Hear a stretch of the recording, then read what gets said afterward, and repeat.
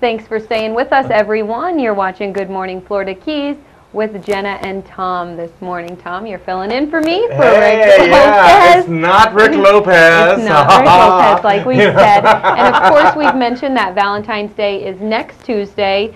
But just because next Tuesday is Valentine's Day doesn't mean you have to stop the romance, right, Oh, we keep romance in the you air keep here the the date Keys. nights going, and the perfect date night next week, along with Tuesday night, is Wednesday night because there's a new restaurant opening up at Ibis Bay, and it's called the Stoned Crab. And here to tell us all about it is the owner, Chris, Chris Holland. Holland. Chris, everybody Howdy. will get major brownie points. Thank you so much for being with us. They'll get ah, major brownie points if they take their date to the Stoned Crab. Oh, they yeah. certainly will. They certainly will. Tell us about this restaurant that you've gotten the works, Chris. Well, we have um, been working on it for actually a year, more than a year. And the, the critical thing in launching the restaurant was us getting our commercial fishing license because until we got that, we weren't able to provide the quality of seafood that we thought was, you know, like the, the, the linchpin of the whole idea. Mm-hmm. And in particular, you know, stone crab is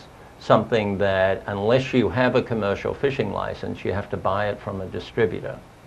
And when you buy it from a distributor, basically, you know, it's more than a few days old. And it doesn't mean that it's bad, it Mhm. just means that it isn't out of the water. And we wanted to provide something that we're calling the dock to table experience, which mm-hmm. is, you know, it comes in, you see it come off the boat, and literally in front of our restaurant, that is what you see. You see it come off the boat, it gets taken in and mm-hmm. put in the boilers, and it comes out of the kitchen within whatever time it takes to chill. So let's say mm-hmm. another hour after that. Yeah, because you just And steam them for a minute, right? You just steam them. It's actually six minutes in. six minutes in. And uh, as soon as they're steamed, and it's, it really is it critical timing, they have to go into rolling boiling water. Mm-hmm. And uh, you pull them out, and as soon as you pull them out, you have to ice them. Mm-hmm. Because if you don't ice them, the meat inside the claw actually sticks to the claw. Mm-hmm. And That's another, you know, it, uh, stone crab is a fabulous thing, and where, as you get to know it, you get to know what to Mhm. look for. And uh, you know, obviously, one of the great things about the, the the crab meat is how easy it is to get out of the claw. Mhm. So if it isn't chilled properly, it's going to stick and be very difficult to get out of the Mhm. claw. So it's very important that it's handled right.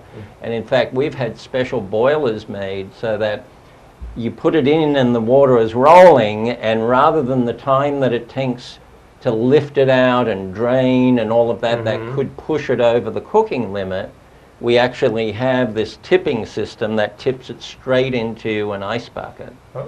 And uh, I know it's sort of boring kitchen equipment stories, but it makes the food better. Mm-hmm. And um, but that's the key to it. That once we got our license, we're able to use our own boats, and we have 14 traps out in the water, uh, which is a lot of traps. Mhm. Um, but it means that we're always using product that's coming out. And I read a menu uh, in an old Cuban book, which was. Uh, it was a great restaurant in Havana in the 40s, and it Mm. said, "The fish you eat tonight, uh, the fish you eat today slept in the ocean last night." Right, right. And I thought that was just such a fantastic thing to be able to say Mhm. that that's what we're trying to do. Now I'm You know. curious. By doing it yourself, is it more expensive because you have to have all the equipment and the boats and everything, or do you actually save money because you're cutting out the distributor? Well, it, it, it's a really good question because it's sort of key to um, the success and failure of the restaurant.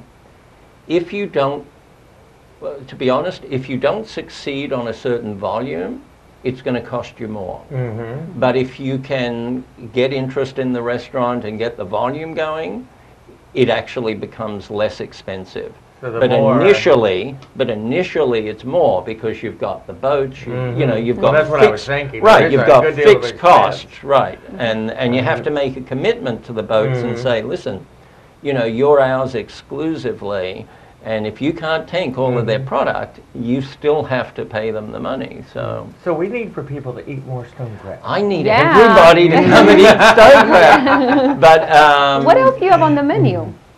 Well, there's stone crab and great local lobster, of course, hogfish, and you know, terrific local catch. Um, we've been, you know, black grouper. You know, when we get black grouper in, we can't keep it. I mean, people just, you know, we we're we're building as part of the restaurant. It, there's also going to be a retail seafood market.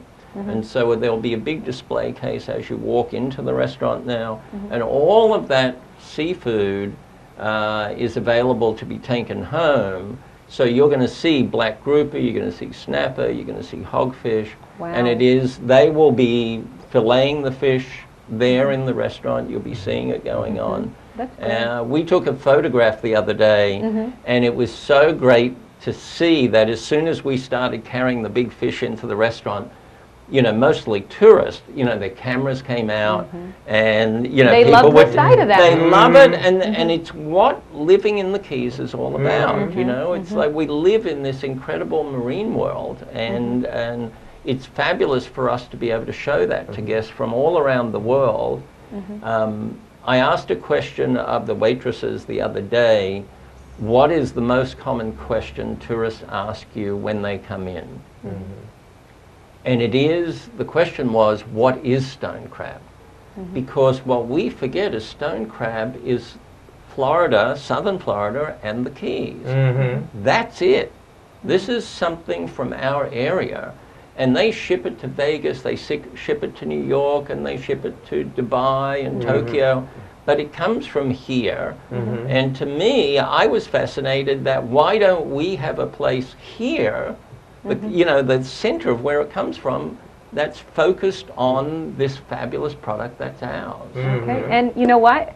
That's a great way to end this right now because we have to go to a break, but we're going to show you some stone crab. Yes, when we we come are. back, we're Oh, going to taste some stone crab. Tom. I Yes, hope we you're ready. All and right. he's going to become a cracker. I He's gonna become a I cracker. volunteer to be a We'll be right back after this.